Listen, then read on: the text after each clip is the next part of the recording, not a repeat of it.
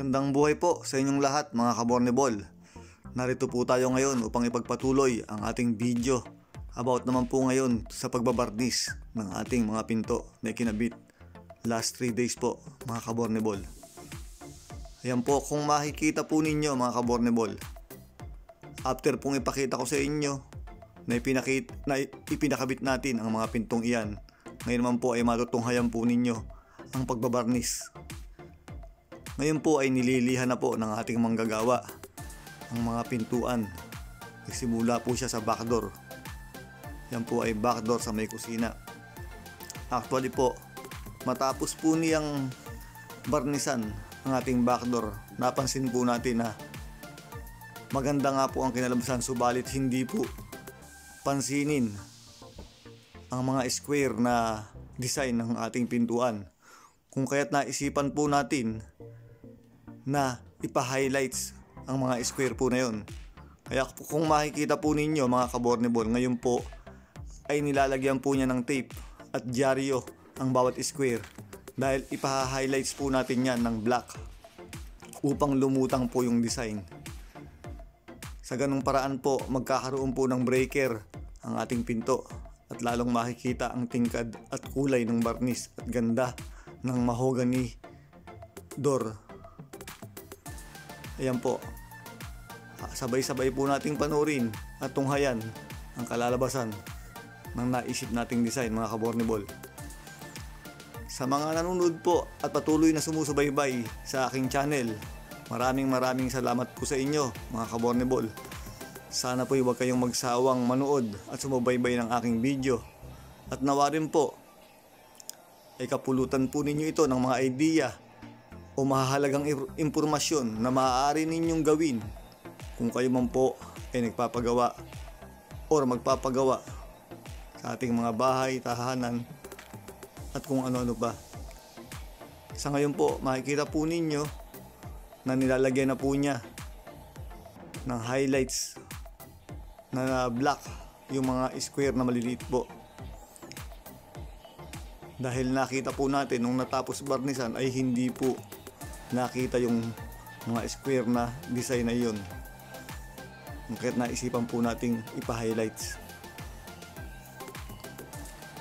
Uh, shout out po sa inyong lahat sa mga patuloy na sumusubaybay. Sana po ay patuloy kayong manood, mag-like at mag-share. At ipakit-hit nyo rin po ang notification bell para po updated kayo sa mga susunod na ipagagawa natin.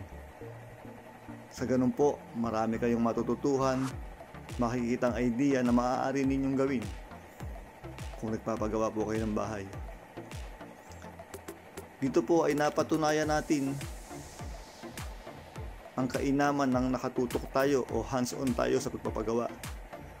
Dahil kung minsan po, kapag tapos na po yung ating ipinagagawa o yung trabaho, saka po natin nakikita ang mga kulang or kung hindi tayo nasiyahan sa pagkakagawa. Kaya po kung hands-on tayo o palagi tayong nakatutok, ay agad natin itong maipaayos o maipagaba, maipababago. Yan po, bali second coating na po ang ginagawa niyang pagbablock para po matingkad na matingkad yung pagka-block at lumitaw yung design ng mahogany wood.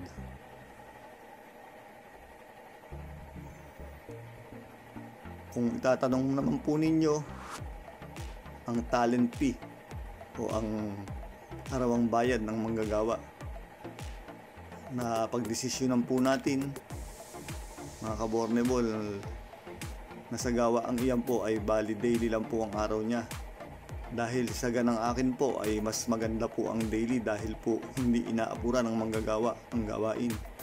Mas nagiging pulido po ang paggawa kapag daily Ayan din po yung backdoor sa itaas.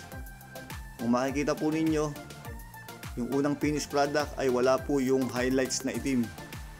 Yung parang Chanel po na yon. At yung pong border na itim sa gilid. Diyan po, sa pangalawang video po yan ay makikita po ninyo na lumutang na po yung design nung pinalagyan po natin ng highlights.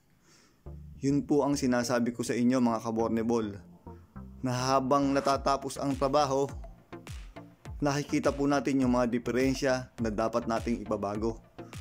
Kung kaya't mainam po yung marami tayong idea, may napapanood tayong mga idea at naririnig or nakatutok tayo sa ating mga ipinagagawa. Ito po, dumako naman po tayo sa front door. Habang nililiha po yung ating front door, ay nilalagyan naman po ang mga gilid ng hamba ng palitada upang maging maayos na po. Dahil wala pa pong palitadang maayos ang gilid ng hamba at muldura. Ngayon po ay nalagyan na rin po habang nililiha po ng ating pintor. Ito po ay wala ng highlights na itim sapagkat mayroon po itong mga lilok na burda. Ang burdang lilok po na yon ay lilihahin na lamang ng maayos. Lagi nyo rin pong tatandaan mga kaborneball, tips ko lamang po. Hindi po ubra na ipa, ipaliliha po ninyo ang mga lilok na yon sa hindi nakakaintindi dahil yung pong mga kanto ng lilok po na yon ay kailangang malihan ng maayos upang hindi po mawala yung talim ng mga design o ng lilok ng kahoy. Yan po kung makikita po ninyo, first coating pa lamang po yan. Makikita na po ninyong maganda at buhay ang design ng Narador na yan. Mga kabornable.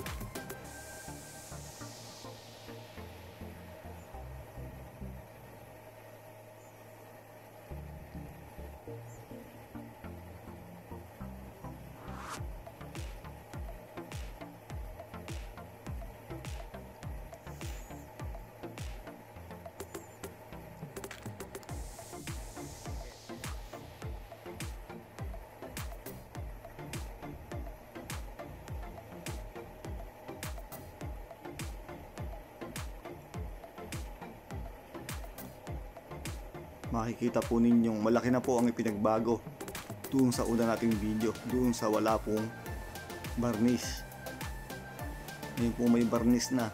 First coating pa lamang po yan ay nakita na po ang kagandahan ng front door Nara wood na yan. At lalo pong nabuhay yung design. Yung pagkakalilok po ay lalong nabuhay. Kaya po ibinahagi ko sa inyo na kung hindi po marunong yung magliliha ay masisira po yung design po na yun. Kung kaya't huwag po ninyong basta-basta ipagagalaw ang inyong mga prandor kung hindi talagang nakakaintindi ang magliliha o magpipintura.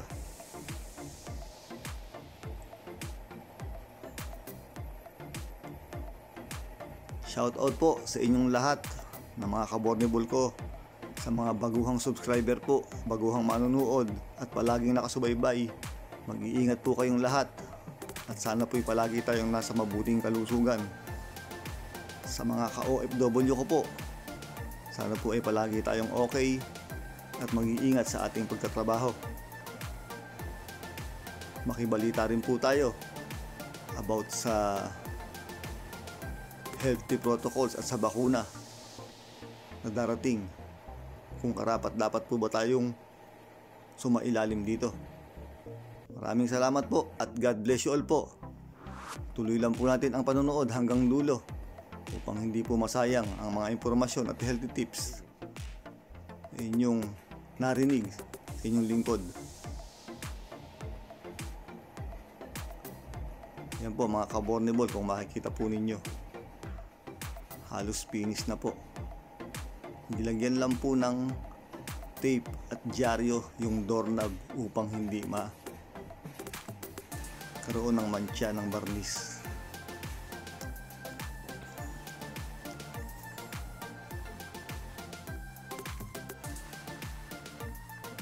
Ayan na po ang ating front door Narawood mga kabornable.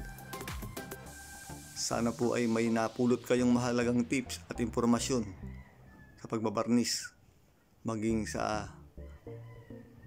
kung paano po ang magandang bayaran. Depende po sa inyong usapan ang makukuha po ninyong tao na gagawa sa inyong bahay.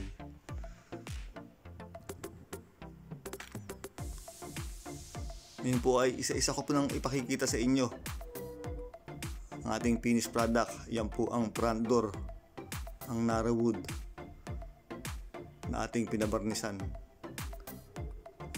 At sa bandang huli po ay makikita po ninyo ang back door na may highlights na square-square po na itim at yung dalawang back door sa itaas. Mga finished product po na pinalagyan po natin ng highlights na itim upang mabuhay ang mga design. A few moments later. Sa mga susunod ko pa pong video, ipalagi ninyo akong samahan. Maraming maraming salamat po at God bless you all po. Salamat po sa patuloy ninyong pagsubaybay